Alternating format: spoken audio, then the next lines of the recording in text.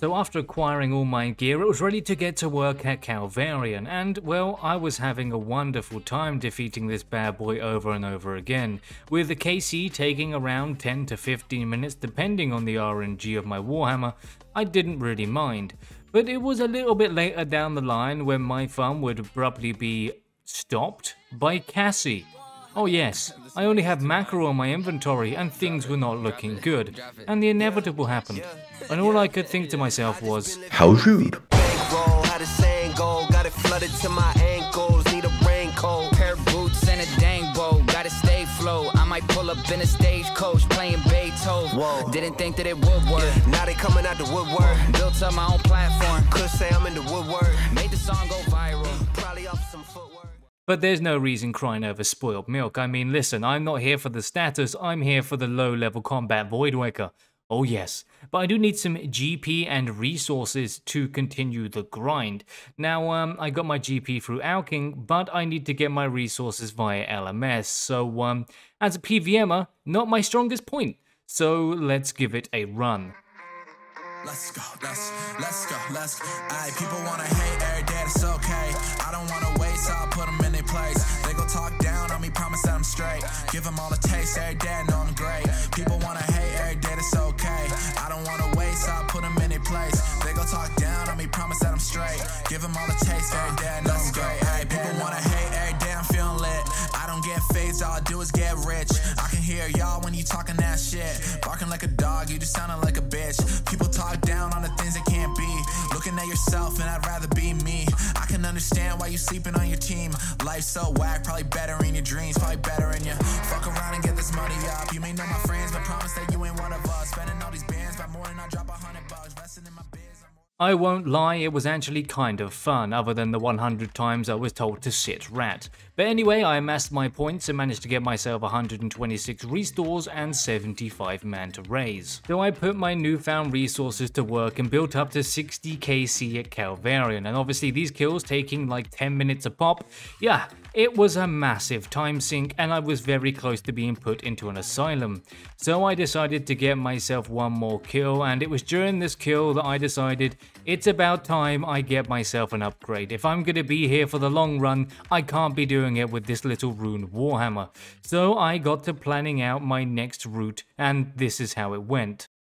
So after some true gamer research, I decided Dragon Warhammer. Mm-hmm, beautiful stats and looks very cool, but then I was like, oh yeah, Shamans and 1 in 5k, no thank you.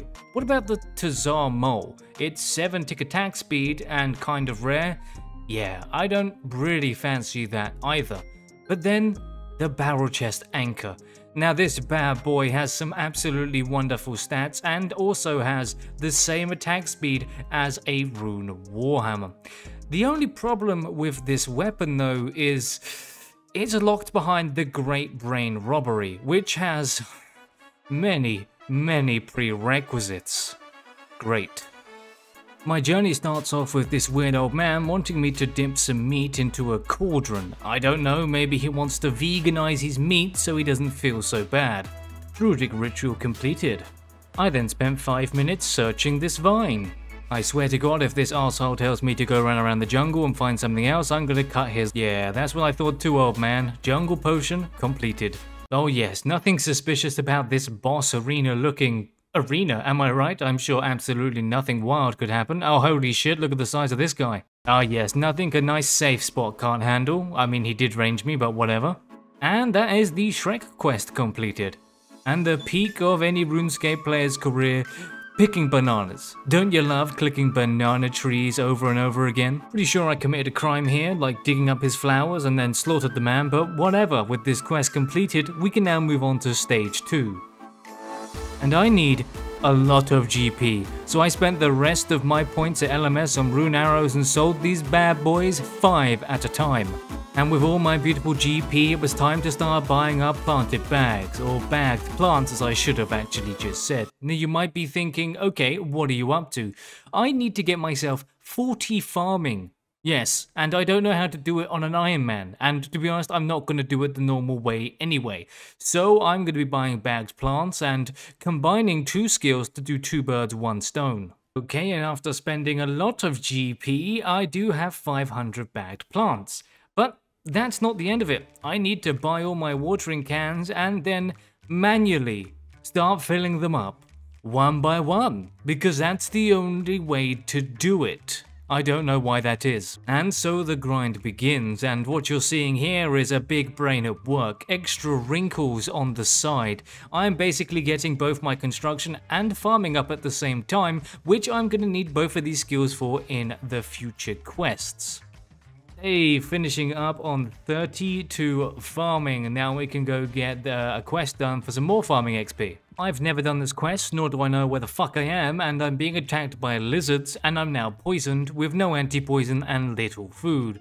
So, um, yeah, I kind of had to evacuate and come back the next time with a lot more preparedness. Oh yes, and absolutely no trouble the second time round. Mm-hmm, that's how you prepare, because failure to prepare is preparing to fail.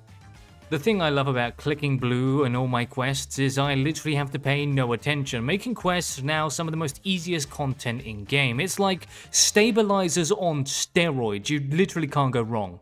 And with the Dirty Garden completed, 10k XP for 36 farming. But as I said, I do need 40 farming, so I'm back to buying bloody dirt bags and, well, you know, the drill, we have to then fill up a bunch more watering cans. But that, ladies and gents, is 40 farming in the bag as well as 36 construction. Ooh, I love it when things come together. This is where the real fun starts. 42 Slayer is what I need, and it's known for being notoriously slow. I ended up getting a task of shades from my boy Vannaka, and I, I, I found out the hard way that they are not one defense friendly.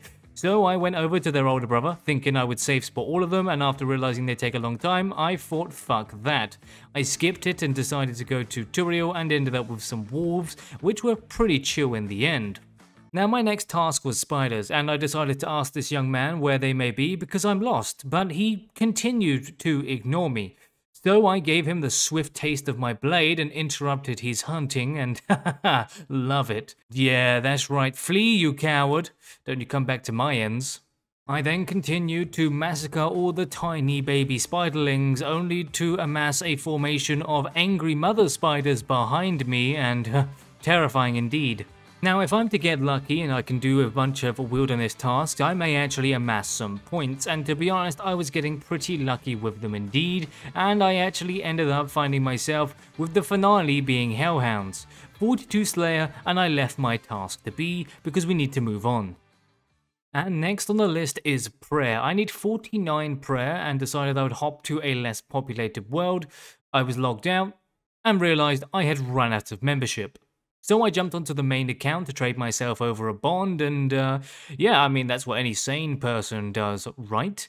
And uh, some random person was here and it looked kind of sketchy, so I decided to make the situation even more suspicious by randomly handing him 150k, and uh, yeah, I just sent him on his way, told him to little hush hush. Now, it's time to get back on with the prayer. And this was a lot more chill, not having to worry about PKs because I had many bones banked. 49 prayer achieved, and um, I killed myself at the wines. This, this by the way, doesn't count as a PVM death. I'm PVM deathless. That was a suicide, big difference. And this is my first encounter with the big man. But during Rum Deal, I found out I could intimidate the zombies. Right, I don't know what that means, but I must have been saying something extremely deadly for this screen to pop up. And well, they actually leave you alone once you do this. And that's Rummius Dealus Completus.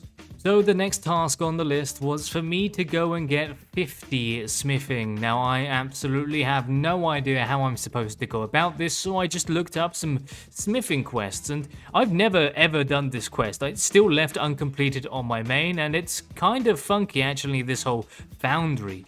But with the quest completed, I got myself some nice smithing XP taking me up to 36 smithing.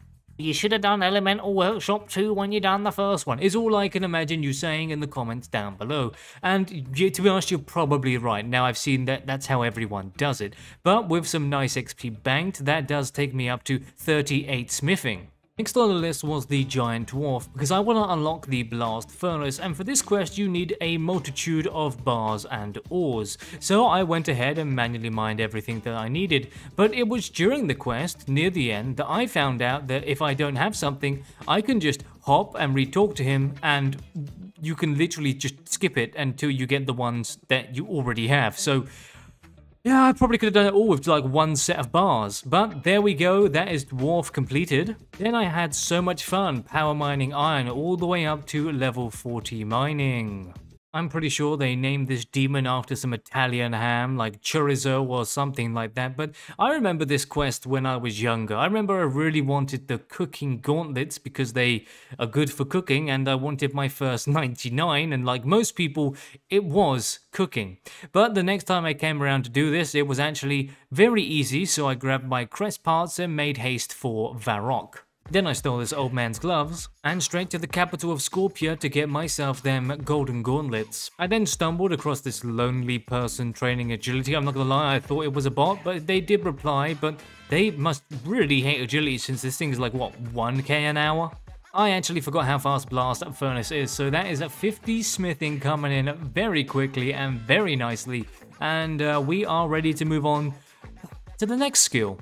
And well, the classic bit of glass blowing takes us up to 45 crafting, and now we're on to our final skill that we need before the last few quests. And can you guess where I'm going next? And sitting here killing crabs for another hour of my life, we've achieved 40 ranged, which means every skill is now finished. Oh, but this roller coaster of fun just doesn't end, especially when you're in the middle of a quest that somehow gets bugged out and just doesn't want to continue.